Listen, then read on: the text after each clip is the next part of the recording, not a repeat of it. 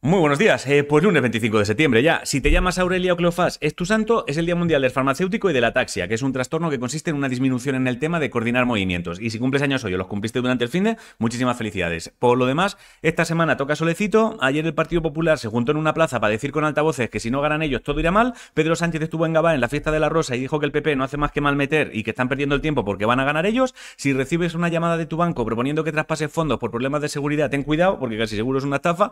Hoy empieza la campaña de vacunación por la gripe. La Unión Europea ha dicho que si tienes caldera de gas ya puedes ir pensando en cambiarla por una bomba de calor. En Estados Unidos está habiendo una huelga de gente que trabaja en el sector del motor y si tienes gente en Grecia, llámales cagando leches porque el viernes aprobaron la jornada laboral de 13 horas con posibilidad de añadir un sexto día de trabajo y eso significa que a lo mejor no pueden volver a cogerte el teléfono nunca más. Ah, y he leído un artículo que dice que muchos estudiantes ya están usando ChatGPT para sus trabajos final de carrera. Así que si eres profesor, yo te diría que lo uses también para corregirlos y a tomar por culo. Más tiempo para ver series. En deportes, en fútbol femenino, la selección española a dos con el otro equipo, que ahora mismo no creo que, era Suecia, pero no me hagan mucho caso. En masculino, el Atlético de Madrid le jodió la racha de victorias al Madrid. En golf, ayer terminó la Solheim Cup y Carlota Ciganda hizo que Europa fuese el equipo ganador.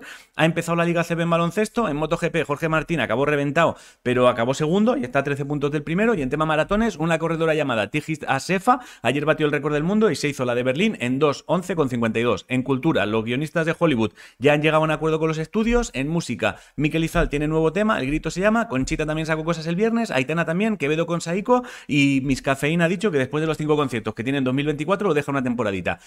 Ah, y en cosas del espacio, ayer aterrizó en el desierto una nave que básicamente trae arena y piedras de un asteroide. Ojalá sacar la arena, se les caiga y se mezcle con la del desierto en plan, cago en la leche puta. Ahora, ahora no sé de dónde es cada arena. Si no sabes qué comer, hazte medallones de merluza con salsa verde. La frase de hoy es, no es tan importante el viaje como la forma en la que tratamos a los que nos encontramos por el camino.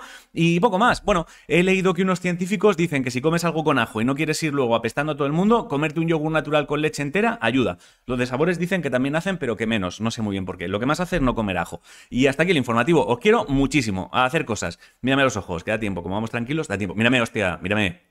Te quiero. Pasa buen día. Nos vemos mañana. Si quieres. Si no quieres, pues no vengas. No estás obligado. No es ley.